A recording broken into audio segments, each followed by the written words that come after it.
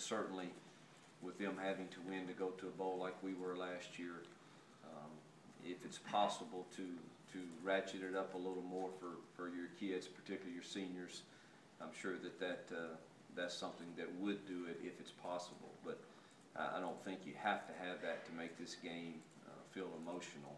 So, um, but it, but it, you know, if, it- if there's anything that would make it more, it would be those factors.